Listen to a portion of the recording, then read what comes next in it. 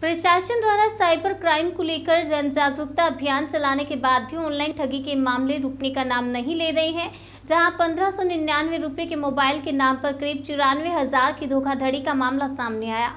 आपको बता दें कि हाथोद के रहने वाले तेईस वर्षीय ओम प्रकाश केवट अपने भाई के साथ आज इंदौर के रिगल तिराहा स्थित एसपी कार्यालय पहुँचे, जहाँ उन्होंने मीडिया के सामने बताया कि दो दिन पूर्व फेसबुक पर पंद्रह सौ निन्यानवे रुपये कीमत का एक मोबाइल का विज्ञापन उन्होंने देखा और दी गई लिंक पर क्लिक किया तो उनके पास एक फ़ोन आया और उनसे पंद्रह सौ निन्यानवे रुपये ऑनलाइन जमा करवाए गए। इसके विभिन्न इसके बाद विभिन्न तरह के प्रलोभन देकर ओम प्रकाश से मोबाइल कंपनी का नाम लेकर फ़ोन करने वाले व्यक्ति ने चौरानवे हज़ार से अधिक की ऑनलाइन राशि जमा करवा ली।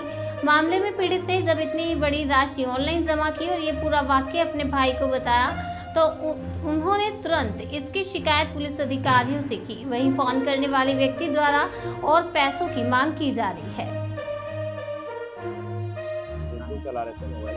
तो मोबाइल पे एक एड आता है मोबाइल पे।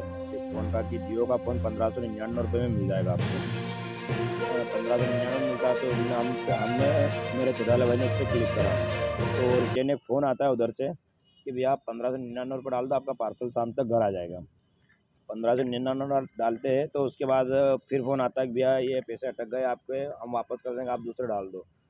फिर आधे घंटे बाद चार हज़ार डालते हैं फिर दो दो एक घंटे बाद दस हज़ार डालते हैं ऐसे छोटा वाला थोड़ा ना समझे तो डालता गया डालता गया ग्यारह हज़ार का ट्रांजेक्शन हुआ।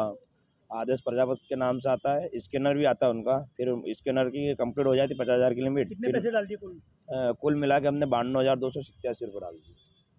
उसके बाद क्या हुआ? उसके बाद फिर फ़ोन आता है सुबह तो ये मेरे पास लेके आता है फ़ोन तो फिर मेरे को बोलता है कि ऐसा ऐसा मैंने बोला पेमेंट मत डाल अभी फ़ोन में मत उठा। बोला आप दस हज़ार रुपये डाल दो आपका अमाउंट अटका हुआ पड़ा है। बोला एक लाख हो जाएगा तो पूरा आपको रिटर्न मिल जाएगा ऐसा कैसा। और आपका पार्सल है जो फिर पार्सल के लिए अलग से जो पंद्रह सौ निन्यानवे रुपये वो डाल देना। तो आपका पार्सल आ जाएगा और पेमेंट भी वापस आ जाएगा। फिर मैंने इसको रोका। फिर हम एस पी ऑफ़िस आए हैं यहाँ पे शिकायत करने। कौन सी कंपनी की मोबाइल था जियो की कंपनी का सर। कितने का मोबाइल था? पंद्रह सौ निन्यानवे रुपये। इसके पहले भी आप कभी आपने नहीं सर ऐसा कुछ कुछ भी खरीद नहीं करी। क्या काम करते हैं आप सर किसानी का काम है। कहाँ रहते हैं? हाथों अब क्या करेंगे आप? सर अब देखो क्या करते हैं। आपका नाम?